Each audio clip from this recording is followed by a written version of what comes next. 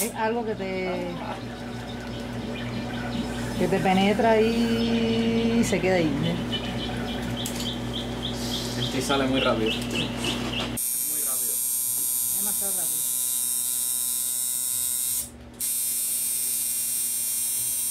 Fíjate que está abriendo piel.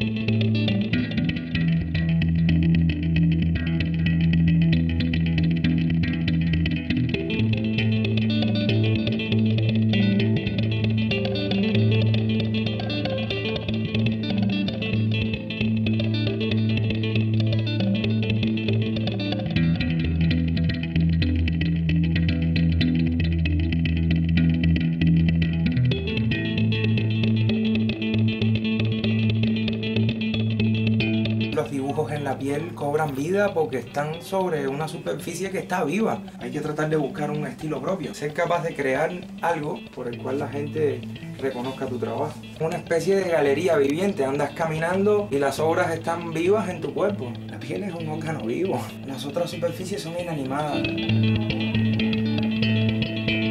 En la piel como que se vuelve en 3D. Desde que éramos cavernícolas ya estábamos pintando las cuevas, haciéndonos adornos de hueso e incluso modificándonos el cuerpo. Como mismo una señora hoy se quiere hacer una cirugía plástica, no sé, mejorarse los labios o pararse los senos. Asimismo, como corre la tecnología, el hombre también ha estado haciendo ese tipo de cosas desde el surgimiento de la humanidad. Incluso, fíjate, mira mis lóbulos de las orejas. Los taínos los tenían así antes de que Colón llegara aquí. Entonces, ¿cuál es el problema? ¿Cuál es el asunto de ver eso tan raro como si fuésemos extraterrestres? No sé, siempre me hago todo este tipo de preguntas, ¿no? Pero la situación es que los tatuajes y las modificaciones del cuerpo son tan viejas como la raza humana. Los tatuajes son una ceremonia de iniciación ancestral. Pero que eso no es tatuaje por tatuaje. Esos son representaciones claro, geométricas. claro. Pero cuando la gente lo observa, tiene una acción Claro, en su tiene una psique, repercusión, Una claro. acción sanadora. Claro. Tú estás en una cola y la gente está estresada y no se dan cuenta porque te están mirando la llave de sanación de Reiki. No saben nada de eso, pero no es una florecita, una mariposita, ¿entiendes? Es algo que, que me va a ayudar. Porque tengo una cola y la gente se van a ir como que armonizando, ¿no? Hay un señor en, la, en el Parque Central que me dijo horrores. ¿Por qué no te haces esto? Con una piel tan linda. Cochina, drogadicta. Este hombre, mi caso de- es un problema conceptual también. Si tú logras pasar por eso, ¿entiendes? Logras sobreponerte a eso y dejas de sentir ese dolor controlando tu respiración, es como el frío, como cualquier cosa insoportable. Yo creo que te hace un mejor ser humano. Puedes aguantar casi todo. También que cuando tú ves que aparte del dolor y todo, el trabajo te queda bien, por eso es que uno se embulla muchas veces, ¿entiendes? El viaje este que, que tuve a Estados Unidos me ayudó bastante porque participé en una convención, conocí a muchos tatuadores del ámbito internacional que antes no conocía, los vi trabajar. Y eso créeme que te ayudó bastante porque son gente que lleva 20, 30 años tatuando y están en- realmente en un nivel bastante elevado en cuanto a calidad de su trabajo, en cuanto al arte, en cuanto a todo. Entonces esa posibilidad técnicamente te ayuda bastante. Y emocionalmente tú mismo con el tiempo vas Claro. superando y te vas No, y como creciendo y vas descubriendo cosas que te pueden servir, ¿entiendes? No Si no te gusta, no hacer. puedo Si no te gusta, no puedo hacer. Esto es un arte. El, Es un arte. el arte, desgraciadamente, tú. No se puede fingir. El arte no se finge. El arte no es en término medio de que no, es como una tuerca que te quedó más o menos jorobado. No, no sirve, no, no, no. Si no es arte, mierda. Así de simple. El concepto de adicción es algo que no puedes parar. Los clientes Por lo muchas tanto, veces... es una adicción. No, sí, los clientes muchas veces se identifican con esto. Si tú no puedes parar de hacerte tatuajes, es una adicción. Si tú te haces un tatuaje y nunca más en tu vida te vuelves a hacer una cosa chiquitica, no eres adicto a eso. Una vez te lo hiciste, es como el que fuma un día o el que se da un paso un día. La adicción es cuando no puedes parar. Como nosotros. Exacto. Si tú no puedes parar, eres adicto. Además, estéticamente me gusta. Me gustan las imágenes que tengo, los símbolos y las imágenes que tengo en es algo que cualquiera puede comprar en Carlos III y ponerse.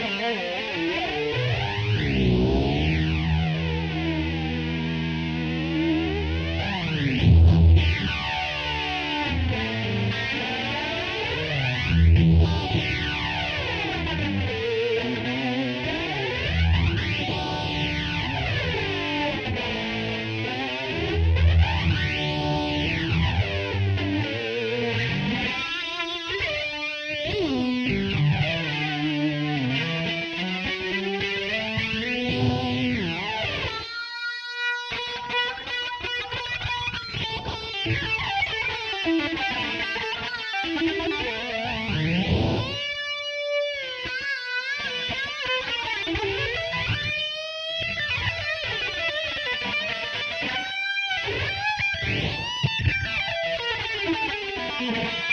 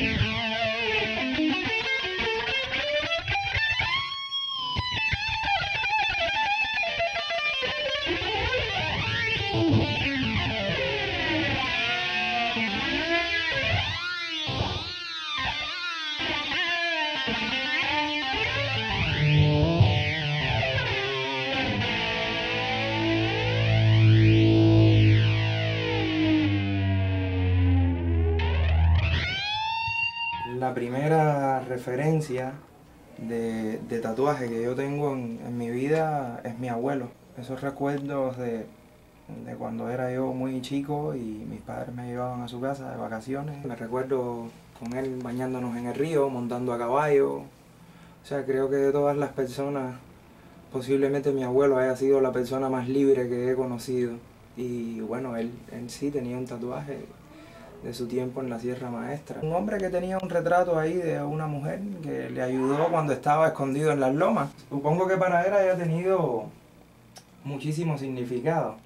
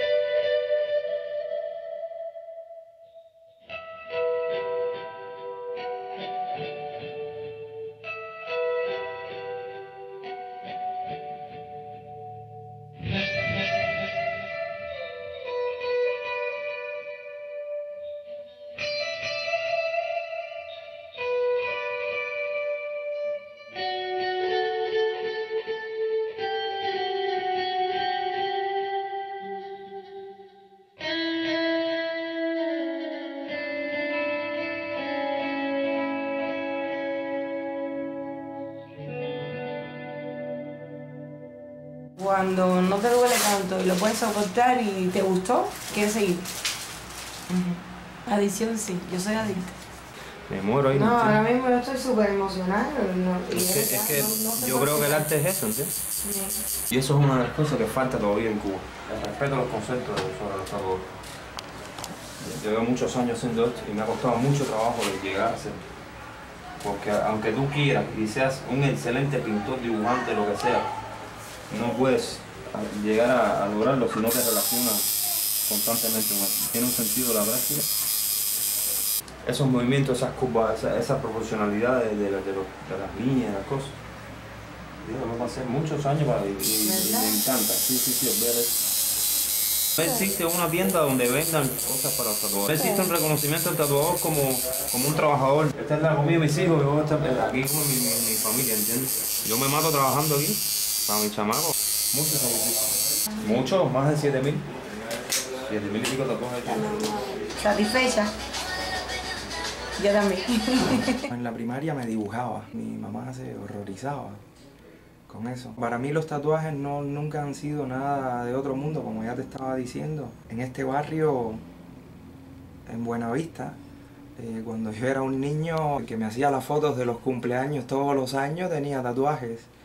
Los padres de mis amigos de aquí al doblar, que uno de ellos era marinero, también tenía tatuajes, así que, o sea, para mí como que de alguna manera mi vida siempre ha estado conectada con esos dibujos en la piel de la gente. Tengo muchos, tengo casi todo el cuerpo cubierto, así que...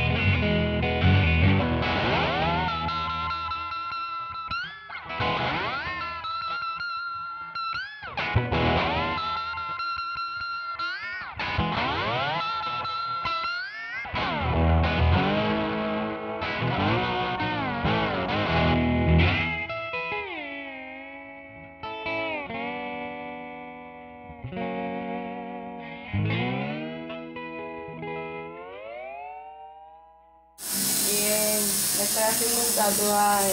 No te he que yo tengo unas cuantas tatuajes. Hay como una segunda generación de, de tatuadores en este país, gente que se está dedicando a este arte, eh, incluso con más recursos que los que nosotros teníamos en un principio, que todo era rudimentario. No creo que esas personas que hay por ahí tatuando, que no tienen un estilo propio, o que simplemente se dedican a repetir las cosas que ven en los catálogos, sean artistas completamente. O sea, es hora ya de que, bueno, de que estos nuevos artistas o tatuadores eh, vayan tratando de encontrar un estilo, ¿no? Que, que la gente eh, reconozca su trabajo más eh, a la hora de, de verlo, ¿no? Esto lo hizo Che, o esto lo hizo Leo, o quien sea, ¿no? O sea, es bueno, es bueno que haya esa diversidad. Nosotros hicimos la galería allí, hicimos como que cuatro exposiciones, más un video también de tatuaje y eso. Una multimedia.